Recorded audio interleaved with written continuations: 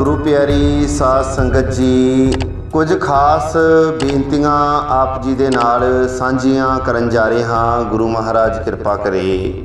ਇਹ ਜੋ ਬੇਨਤੀਆਂ ਨੇ ਭਾਈ ਸਾਹਿਬ, ਭਾਈ ਅਮਰਤਪਾਲ ਸਿੰਘ, ਉਹਨਾਂ ਦੇ ਮਾਮਲੇ ਨੂੰ ਲੈ ਕੇ, ਜੋ ਕਿ ਬਠਿੰਡਾ ਤੋਂ ਹਰਸਿਮਰਤ ਕੌਰ ਬਾਦਲ, ਜੋ ਕਿ ਮੈਂਬਰ ਆਫ ਪਾਰਲੀਮੈਂਟ ਨੇ, ਸੰਸਦ ਦੇ ਵਿੱਚ ਉਹਨਾਂ ਦੀ ਇੱਕ ਸਪੀਚ ਵਾਇਰਲ ਹੋ ਰਹੀ ਹੈ, ਜਿਸ ਦੇ ਵਿੱਚ ਉਸਨੇ ਨਰਿੰਦਰ ਮੋਦੀ ਅਤੇ ਅਮਿਤ ਸ਼ਾਹ ਨੂੰ ਘੇਰ ਲਿਆ।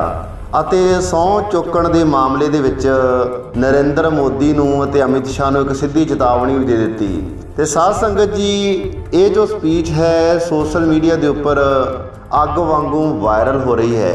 ਕਿਉਂਕਿ ਭਾਈ ਸਾਹਿਬ, ਭਾਈ ਅਮਰਪਾਲ ਸਿੰਘ ਨੇ ਸਹੁੰ ਚੁੱਕਣ ਦੇ ਲਈ ਸੰਸਦ ਦੇ ਵਿੱਚ ਪਹੁੰਚਣਾ ਹੈ, ਕਿਉਂਕਿ ਇਸ ਤੋਂ ਪਹਿਲਾਂ ਸਾਰੇ ਹੀ ਜਿੰਨੇ ਵੀ ਮੈਂਬਰ ਆਫ ਪਾਰਲੀਮੈਂਟ ਨੇ, ਸਾਰਿਆਂ ਨੇ ਸਹੁੰ ਚੁੱਕ ਲਈ ਹੈ। ਪਰ ਭਾਈ ਸਾਹਿਬ, ਭਾਈ ਅਮਰਤਪਾਲ ਸਿੰਘ, ਉਹਨਾਂ ਦੇ ਉੱਪਰ ਜੋ ਐਨਐਸਏ ਹੈ ਉਹ 1 ਸਾਲ ਦੇ ਲਈ ਹੋਰ ਵਧਾ ਦਿੱਤੀ ਗਈ ਸੀ। ਵਾਰਿਸ ਪੰਜਾਬ ਜਥੇਬੰਦੀ ਦੇ ਵਕੀਲਾਂ ਨੇ ਮਾਣਯੋਗ ਸੁਪਰੀਮ ਕੋਰਟ ਨੂੰ ਇਹ ਦਲੀਲ ਪੇਸ਼ ਕੀਤੀ ਸੀ ਕਿ ਭਾਈ ਅਮਰਤਪਾਲ ਸਿੰਘ ਨੂੰ ਸੰਸਦ ਦੇ ਵਿੱਚ ਲਿਆਂਦਾ ਜਾਵੇ ਤਾਂ ਜੋ ਸਹੁੰ ਚੁੱਕ ਸਮਾਗਮ ਨੂੰ ਅਟੈਂਡ ਕਰ ਸਕਣ ਅਤੇ ਉਸ ਤੋਂ ਬਾਅਦ ਜੋ ਵੀ ਹਲਕਾ ਖਡੂਰ ਸਾਹਿਬ ਦੇ ਮਸਲੇ ਨੇ, ਉਹਨਾਂ ਮਸਲਿਆਂ ਦਾ ਹੱਲ ਉਹ ਕਰਵਾ ਸਕਣ ਸੰਸਦ ਦੇ ਵਿੱਚ ਬੈਠ ਕੇ। ਤੇ ਸਾਧ ਸੰਗਤ ਜੀ, ਹਰਸਿਮਰਤ ਕੌਰ ਬਾਦਲ, ਉਹਨਾਂ ਦੀ ਵੀ ਇੱਕ ਸਪੀਚ ਸੋਸ਼ਲ ਮੀਡੀਆ ਤੇ ਅੱਗ ਵਾਂਗੂ ਵਾਇਰਲ ਹੋ ਰਹੀ ਹੈ। ਉਸ ਦੇ ਵਿੱਚ ਉਹਨਾਂ ਨੇ ਕੀ ਕਿਹਾ? ਕੱਲੀ ਕੱਲੀ ਗੱਲ ਤੋਂ ਤੁਹਾਨੂੰ ਜਾਣੂ ਕਰਵਾਵਾਂਗੇ। ਬਣੇ ਰਹੋ ਵੀਡੀਓ ਦੇ ਅੰਤ ਤੱਕ। ਜੇਕਰ ਤੁਸੀਂ ਸਾਡੇ ਚੈਨਲ ਦੇ ਉੱਪਰ ਨਵੇਂ ਹੋ ਸਾਡੇ ਚੈਨਲ ਨੂੰ ਸਬਸਕ੍ਰਾਈਬ ਕਰਕੇ ਨਾਲ ਲੱਗਦੇ ਬੈਲ ਆਈਕਨ ਨੂੰ ਦਬਾ ਦਿਓ ਤਾਂ ਜੋ ਆਉਣ ਵਾਲੀ ਵੀਡੀਓ ਦੀ ਨੋਟੀਫਿਕੇਸ਼ਨ ਹੈ। ਬੜੀ ਆਸਾਨੀ ਨਾਲ ਤੁਹਾਡੇ ਤੱਕ ਪਹੁੰਚ ਜਾਵੇ ਤੇ ਨਾਲ ਦੀ ਨਾਲ ਇਸ ਵੀਡੀਓ ਨੂੰ ਜ਼ਿਆਦਾ ਤੋਂ ਜ਼ਿਆਦਾ ਸ਼ੇਅਰ ਵੀ ਕਰਿਓ ਤਾਂ ਜੋ ਇਦਾਂ ਦੀ ਜਾਣਕਾਰੀ ਹੈ, ਇਸ ਤੋਂ ਕੋਈ ਵਾਂਝਾ ਨਾ ਰਹਿ ਜਾਵੇ। ਜ਼ਿਆਦਾ ਦੇਰ ਨਾ ਲੈਂਦੇ ਹੋਏ ਗੱਲ ਕਰਦੇ ਹਾਂ ਅੱਜ ਦੇ ਇਸ ਵਿਸ਼ੇ ਦੇ ਉੱਪਰ।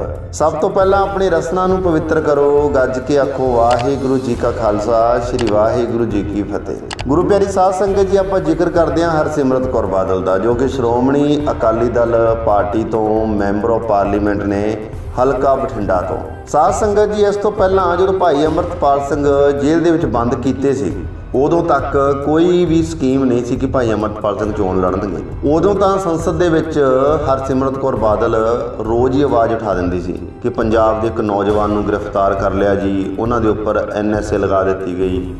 ਤੇ ਹੁਣ ਜਦੋਂ ਭਾਈ ਅਮਰਤਪਾਲ ਸਿੰਘ ਨੇ ਹਲਕਾ ਖਡੂਰ ਸਾਹਿਬ ਤੋਂ ਪੇਪਰ ਭਰ ਕੇ ਚੋਣ ਲੜਿਆ ਤੇ ਇਹਨਾਂ ਨੇ ਆਪ ਦਾ ਉਮੀਦਵਾਰ ਵਿਰਸਾ ਸਿੰਘ ਬਲਟੋਹਾ ਨੂੰ ਵੀ ਉਸ ਦੇ ਸਾਹਮਣੇ ਖੜਾ ਕਰ ਦਿੱਤਾ। ਤੇ ਅੱਜ ਇਹ ਸੰਸਦ ਦੇ ਵਿੱਚ ਪਹੁੰਚ ਗਈ ਹੈ ਤੇ ਅੱਜ ਇਸ ਦੇ ਮੂੰਹ ਚੋਂ ਇੱਕ ਵੀ ਸ਼ਬਦ ਨਹੀਂ ਨਿਕਲਿਆ। ਵੈਸੇ ਤਾਂ ਬਹੁਤ ਰੌਲਾ ਪਾ ਲਵੇਗੀ ਇਹ, ਪਰ ਭਾਈ ਅਮਰਤਪਾਲ ਸਿੰਘ, ਉਹਨਾਂ ਦੇ ਹੱਕ ਦੀ ਗੱਲ ਇੱਕ ਵੀ ਨਹੀਂ ਹੋਣੀ ਇਹਨਾਂ ਤੋਂ। ਨਹੀਂ ਇਹਨਾਂ ਨੂੰ ਚਾਹੀਦਾ ਹੈ ਜਿੰਨੇ ਵੀ ਪੰਜਾਬ ਦੇ ਐਮਪੀ ਨੇ ਕੱਲ ਰਾਜਾ ਵੜਿੰਗ ਸਿੱਧੂ ਮੂਸੇਵਾਲੇ ਦੇ ਬਾਰੇ ਬਹੁਤ ਬੋਲਿਆ ਹਰਸਿਮਰਤ ਕੌਰ ਵੀ ਪਰ ਇਹਨਾਂ ਨੂੰ ਚਾਹੀਦਾ ਹੈ ਕਿ ਪੰਜਾਬ ਦਾ ਇੱਕ ਐਮਪੀ ਜੇਲ੍ਹ ਦੇ ਵਿੱਚ ਬੰਦ ਹੈ ਤੁਸੀਂ ਉਸ ਨੂੰ ਉੱਥੋਂ ਰਿਹਾ ਕਰੋ ਅਤੇ ਉਸ ਨੂੰ ਸੰਸਦ ਦੇ ਵਿੱਚ ਲਿਆਓ ਤਾਂ ਜੋ ਸਹੁੰ ਚੁੱਕ ਸਮਾਗਮ ਦੇ ਵਿੱਚ ਪਹੁੰਚ ਸਕੇ ਅਤੇ ਉਸ ਤੋਂ ਬਾਅਦ ਜੋ ਵੀ ਉਸ ਇਲਾਕੇ ਦੇ ਮਸਲੇ ਨੇ ਉਹਨਾਂ ਮਸਲਿਆਂ ਦਾ ਹੱਲ ਹੋ ਸਕੇ ਸੋ ਸਾਧ ਸੰਗਤ ਜੀ ਤੁਹਾਡੀ ਇਸ ਵੀਡੀਓ ਦੇ ਬਾਰੇ ਕੀ رائے ਹੈ ਕਮੈਂਟ ਕਰਕੇ ਜਰੂਰ ਦੱਸੋ ਇਸ ਵੀਡੀਓ ਨੂੰ ਜ਼ਿਆਦਾ ਤੋਂ ਜ਼ਿਆਦਾ ਸ਼ੇਅਰ ਕਰੋ ਗੁਰ ਫਤਿਹ ਪ੍ਰਵਾਨ ਕਰੋ ਗੱਜ ਕੇ ਆਖੋ ਵਾਹਿਗੁਰੂ ਜੀ ਕਾ ਖਾਲਸਾ ਸ੍ਰੀ ਵਾਹਿਗੁਰੂ ਜੀ ਕੀ ਫਤਿਹ।